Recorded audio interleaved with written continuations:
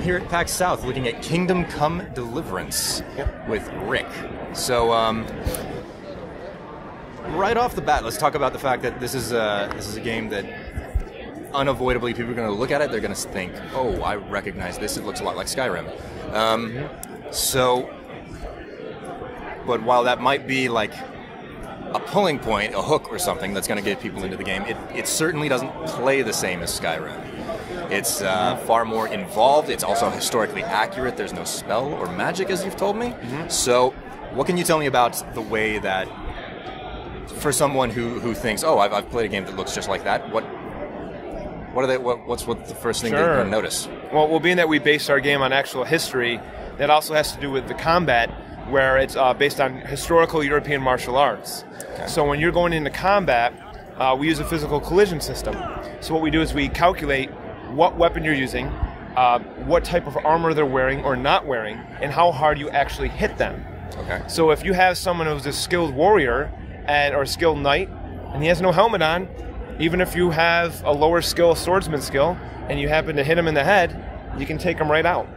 Um, also, being historically accurate, uh, we give you the actual. It's, it's based in 1403, right, in Bohemia. Okay. So we, we give you the immersion, the feeling that you were actually there because we've reconstructed castles, towns, villages. We have even, um, with the CryEngine and our engine, used the Czech trees and the vegetation in the game. Wow. So you're there. Um, you're there. This is, like I said, the HEMA martial arts, and the choices and decisions you make in the game are one of the best things about our game, where you can, you have like three to four to five different ways to solve quests. And while there's only one ending, it's it's up to you how you get there. Wow. Okay, so um, it's also an open world game, Yep. which you know, how just how big is that open world? How how many how many towns or villages or how many you know castles are we talking about that you can visit that you can you know uh, see, experience, barter with uh, the people there? Yeah, so there, there's there's plenty. I mean, our, our map is 16 kilometers square, so there's going to be several castles in the game, several towns and villages. I mean, it's so much so that we, you know, thought about should we put fast travel in the game or not because there's so many different places you can go to, and we did implement that. But even still, our, our world is a living world. So when you go to these castles and these towns, the the, uh, the non-playable characters, the NPCs, are actually doing things. So even as you skip ahead, uh, if you use fast travel, you ever play Oregon Trail? Yes. So you can try and skip ahead, and then it'll say, okay, do you want to re- interact with this merchant that's traveling along the way with you, or walks by you, Hey, or okay. you're getting attacked, and hey, you can try to escape by pressing this button. fast travel isn't quite like warping around the map. It is It's- not warping there- around the map. You still have things that are going to come at you a if live you decide. world. If you try to travel to the other side of the map, well, you're you're basically more at the mercy of dice rolls, as it were. Absolutely, and, and and just another thing too is our beta that people played. Uh, so we have some fans that put in hundred hours just in our beta alone. That was just one sixth, sixth of the final version of the game. So like as, as far as game world goes, like Yep. uh, space. Wow, Yep. that's a lot. hundred hours in one sixth. Now, you know, I think safe to say the average playthrough will be around 50 hours if you're playing through the, you know, the quests. And, That's still significant. and if you're thorough, you could easily put in over 100. oh wow. So, what about the way that um, skills and capability, y- your, your your ability to interact with the world, Yeah. and how do those work? So with the skills, it's it's like Skyrim. So what you use is what you level up in, right? So if you use your speech skill, you're going to level up your speech. You'll be might be able to smooth talk your way into things or out of things.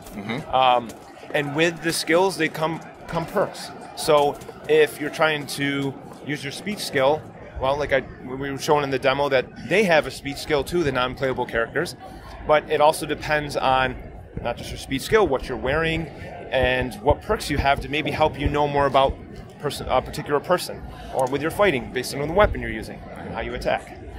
Yeah, that was one thing that you pointed out. It was the fact that you can actually do proper reconnaissance and um, learn about your enemies and find out what their capabilities are. Enemies, as it were, if you needed to talk to someone or understand how to get around or into a tavern or something, Yeah. who's a guard at the door, actually talking to other people around town will actually work. Um, there's a lot of criticism of other RPGs focusing too much on the combat solution, uh, whether it be through, you know, going in guns blazing or sneaking in just whatever happened to talking, and it, Sure. it looks a whole lot like talking is really a full-fledged option in this game that you can avoid almost all of the combat. I would say maybe 75 80% of the game could be avoided entirely with, with choosing not to, you know, fight. Or you could flip it on the flip side, you could fight your way through most of the game if you want. You could be that barter, the guy who, you know, talks your way out of things and like bribes people. You can do that. You can seduce. Uh, you can also like you know use your stealth skills, and you can be really sneaky, and you know you can also use your intimidation skill. So if you have a high intimidation skill, you can maybe scare some gang members out of fighting and to leave the leave the area, or else we're going to take you out.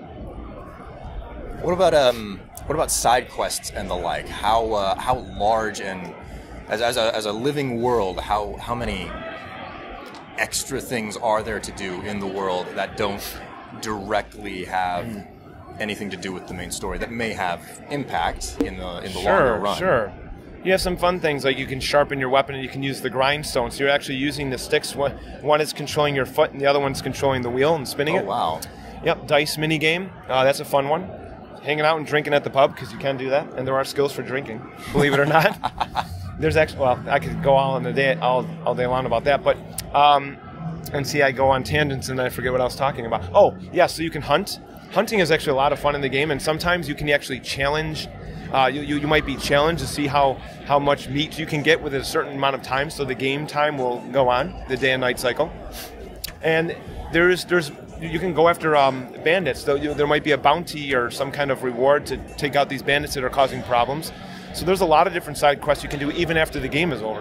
What about um, trade skills or and uh, and guilds? Are there any? Is there anything similar or representative of those two things? Well, not I wouldn't say necessarily guilds. I mean, like I was saying before, you can actually choose to, you know, work with bandits if you want. If you if you if you refuse to, you know, help certain people out. But it's it's not more of like, um, you know, commanding or guilds or leading.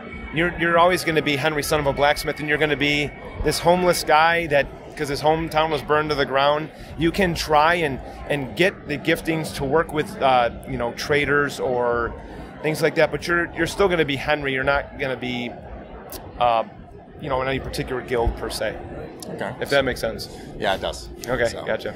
Um, Kingdom Come Deliverance. It has a release date of. One month from today, February 13th.